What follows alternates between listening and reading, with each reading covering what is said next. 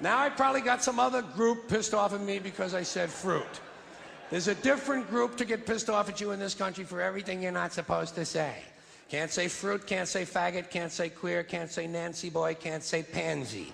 Can't say nigger, boogie, jig, jigaboo, skinhead, jungle bunny, mooly, moulignon, or schwarzer.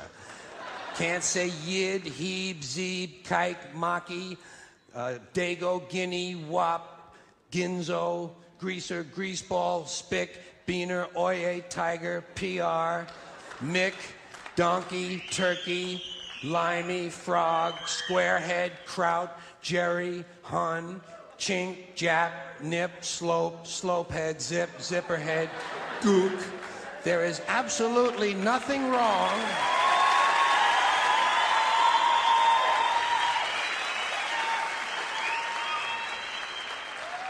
There is absolutely nothing wrong with any of those words in and of themselves. They're only words. It's the context that counts. It's the user. It's the intention behind the words that makes them good or bad. The words are completely neutral. The words are innocent. I get tired of people talking about bad words and bad language. Bullshit. It's the context that makes them good or bad.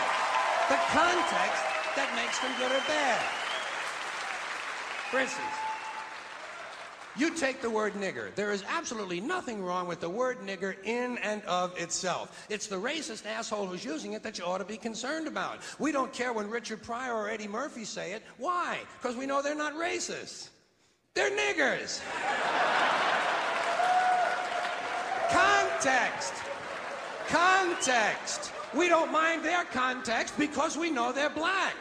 Hey, I know I'm Whitey, the blue-eyed devil, patio fade, gray boy, honky motherfucker myself. Don't bother my ass.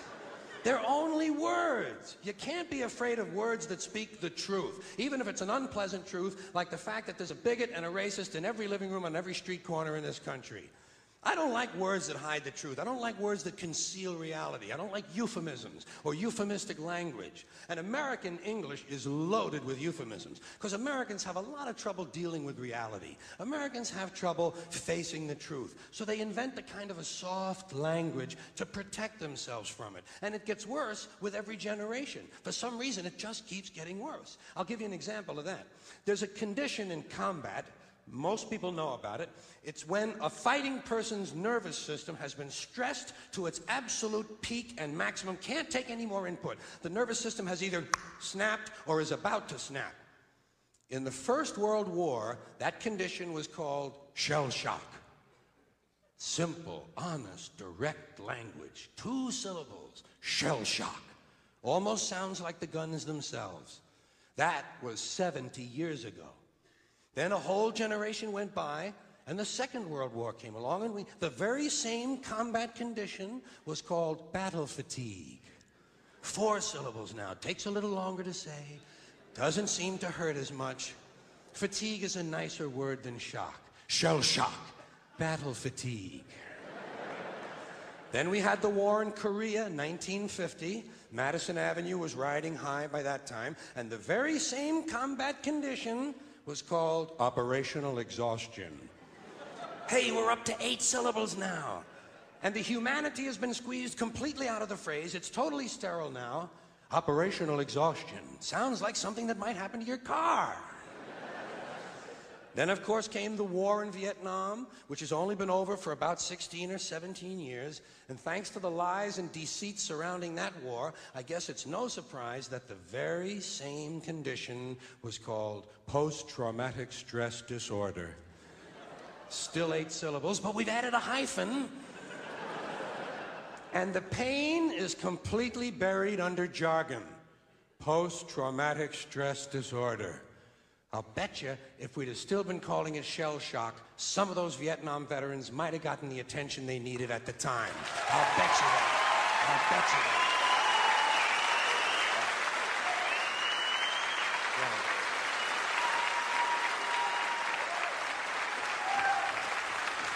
But But it didn't happen. And one of the reasons, one of the reasons is because we were using that soft language, that language that takes the life out of life. And it is a function of time. It does keep getting worse. Give you another example. Sometime during my life, sometime during my life, toilet paper became bathroom tissue. I wasn't notified of this. No one asked me if I agreed with it. It just happened. Toilet paper became bathroom tissue. Sneakers became running shoes. False teeth became dental appliances. Medicine became medication. Information became directory assistance. The dump became the landfill. Car crashes became automobile accidents. Partly cloudy became partly sunny. Motels became motor lodges. House trailers became mobile homes. Used cars became previously owned transportation. room service became guest room dining. And constipation became occasional irregularity. when I was a little kid, if I got sick, they wanted me to go to the hospital and see the doctor. Now they want me to go to a health maintenance organization or a wellness center to consult a healthcare delivery professional.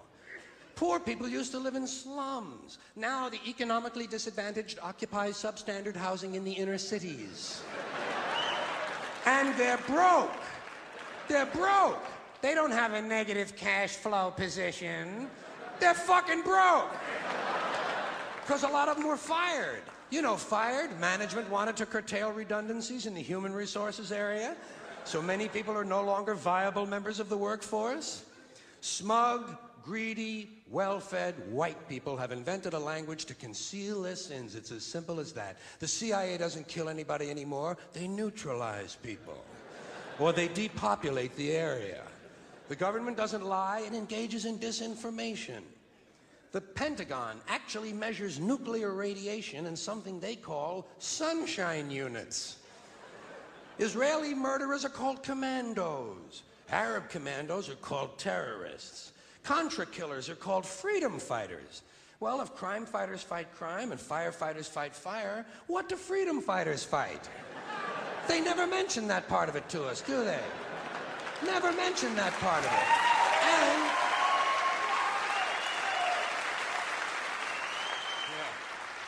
And some of this stuff is just silly. We know, we all know that. Like on the airlines, they say they want a pre-board.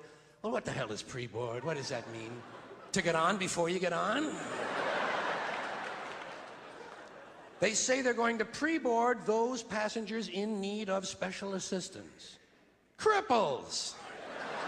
Simple, honest, direct language. There's no shame attached to the word cripple that I can find in any dictionary. No shame attached to it. In fact, it's a word used in Bible translations. Jesus healed the cripples. Doesn't take seven words to describe that condition.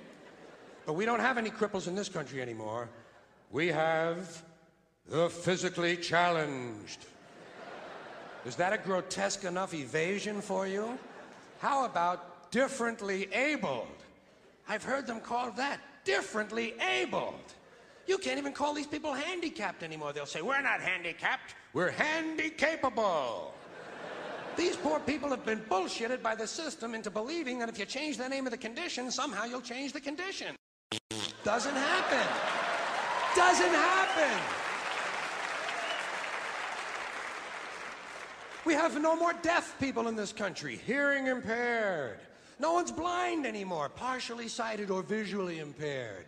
We have no more stupid people. Everybody has a learning disorder. or he's minimally exceptional. How would you like to be told that about your child? He's minimally exceptional. Oh, thank God for that. Psychologists actually have started calling ugly people those with severe appearance deficits.